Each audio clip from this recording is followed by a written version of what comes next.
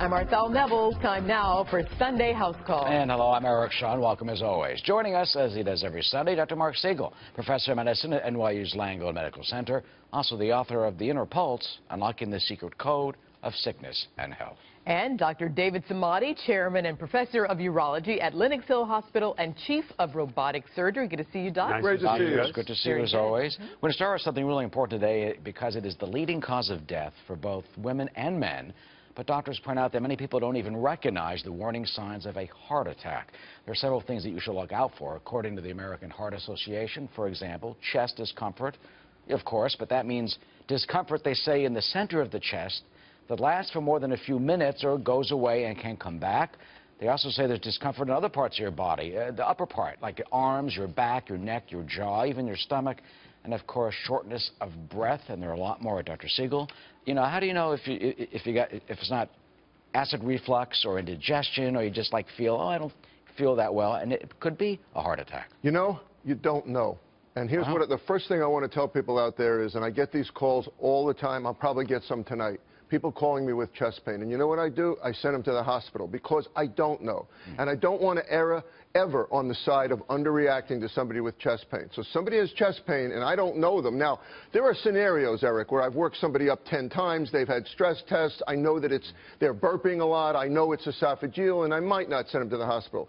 But nine times out of 10 I will. And if, and if you're having that problem out there, you should look for doctors that are going to overreact, not underreact, because we always say time is brain, time is heart too. Your heart is is being suffocated from lack of oxygen and blood flow. If you're having a heart attack, if we get you there early, we can send you to the catheterization lab and reopen is the it, artery. Is it always like a wham? I mean, sometimes people say it's like an elephant sitting on your chest, or is it sometimes like the slow, constant then, constriction? Yeah, and then while you're answering that, are the symptoms different for women? Excellent, and that's really important. First of all, let me just say that it's a leading cause of death among both men and women. 630,000 people die from this. But you're right, the symptoms, the way they present, could be completely different for men and women. In men, could be this heavy elephant chest pain that could be radiating to your arm. That's typically how they present. In women, Arthel, could be very vague. They could have a jaw pain. They may have some fatigue. They may be a little short of breath.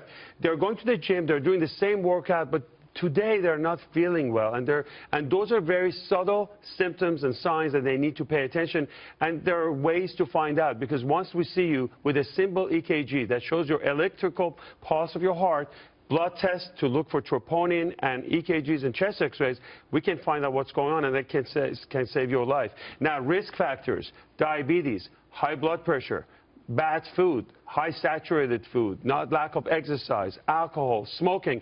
If you have all of these risk factors, you're at the top of the list to have this. You want to be checked what, let's say, if, let's say you feel, I was going to ask one thing. like, let's, let's say you feel like this thing. What do you do? I mean, if, if do you feel your Carotid. pulse?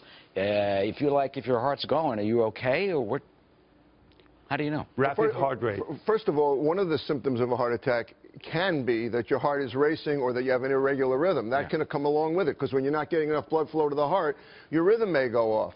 But to emphasize one of David's points here, he made an excellent point about risk factors. On top of that, there's the issue that men and women are a little different, but you may be having just fatigue. You may be having an arm symptom. Look for shortness of breath. Look for nausea. Look for radiation to your jaw, to your back we always think it's the left arm. It can actually be both arms. Here's my point. It can be atypical. You're not feeling like yourself, especially women more than men. You're feeling fatigued. You're not feeling right. You're feeling nauseous. You're sweating. Get on the phone to that doctor and get to the hospital. Oh, the sweating, so that's interesting. You, no, that is interesting yeah. uh, for sure. Dr. Siegel, thanks for pointing that out. But I ask, um, my question is, what is it is it difficult for doctors to misdiagnose? Because a lot of people are walking around with stress, under stress right now. Sure. So what if you go, doc, I'm feeling this, I'm feeling that, you run all the tests, can they miss that you had a heart well, attack? Well, every good doctor should start with the bad news, which is a heart attack, and rule that out before you go to anxiety and depression or rapid heart rate. And that's the key, because once you take care of the heart attack, then you can like entertain other things. But every show that we talk about, what do we talk about? We talk about the fact that there are a lot of salt in your food, and that can lead to high blood pressure. We're suffering from obesity and diabetes. Why is it important? It's important because the blood flow to the heart comes through these vessels called coronary arteries.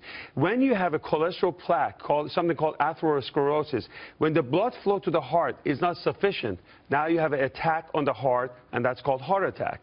And that's why the sooner you get there and diagnose it, you can do angiogram, you can put a stent, you can go on aspirin and other medications to save your life. And that's We've, what we've talked about two things. I just want to point this out. The C-reactive protein, could you just mention that? I've learned it on the show. Good. And once we did the calcium scoring test, that can help. I'm proud of that you, can help Eric. prevent That's, it? that's pretty good. Both of those points are excellent, Eric. You're, you're testing us. You get, you're Well, I'm, I'm you're getting ready to Doc- go to the doctor to okay. say, give me this, doc. Excuse me, that's Okay. $25 copay. You're just, you're just skipping, okay, because of Sunday house call.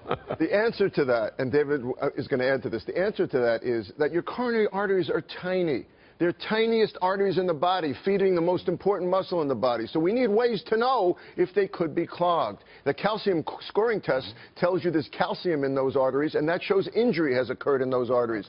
The C-reactive protein, a little bit more debated, a little more controversial. It's an indication that you're building up coronary artery disease. If you have that disease, you're at risk for heart attack. We got to treat you aggressively. Get your cholesterol down. Get your blood pressure under control. Make sure you don't have diabetes. You can go to the doctor and ask for those two things. You can, Basic. but also remember, you get a score. If your score is low, that's a good news. But I also want people to know that it's not all of these plaques are not always calcified. So you may have a soft plaque that's not calcified. Just know about your risk factors. We, last week we talked about Movember and men's health. Know your risk and work on exercise, diet, and all the things that are threatening you. I'm impressed with the C-reactive protein. Very good. Very I'm gonna good. give you- I'm going to give you a point star your paper. You get Look how an A skinny they are man. also. That's Look, great. these guys exercise. It's Their, their weight is down. They Good. eat right. They're, they're role Well, models. not Not this really, week. no, Thanksgiving, I had all that fried turkey. Yeah, you deserve it. That's okay. okay. Fried So, turkey? Yeah, New Orleans, Oh, that's wow. what we do. Oh, yeah. All right, I was Wow. at home. Okay.